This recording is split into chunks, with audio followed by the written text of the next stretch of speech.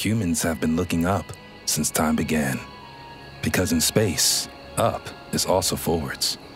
And we need to look forward because that's how humanity and technology progress. It's where we make the impossible possible, where we try, keep trying, and try again. And to do that, we need to explore. And so we find a way. Experts, pioneers, and visionaries coming together to collaborate. And together, we write tomorrow's history. By using human ingenuity to help navigate extreme environments, where failure isn't an option.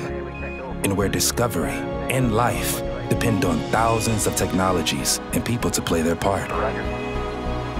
For over seven decades at Castrol, we've celebrated how everything we do in space goes into everything we do on Earth in our search to change the course of our future here. We keep pushing our minds, experts, and our knowledge to play a part as one of many space collaborators, and we keep pushing forward. We call it Castronomy.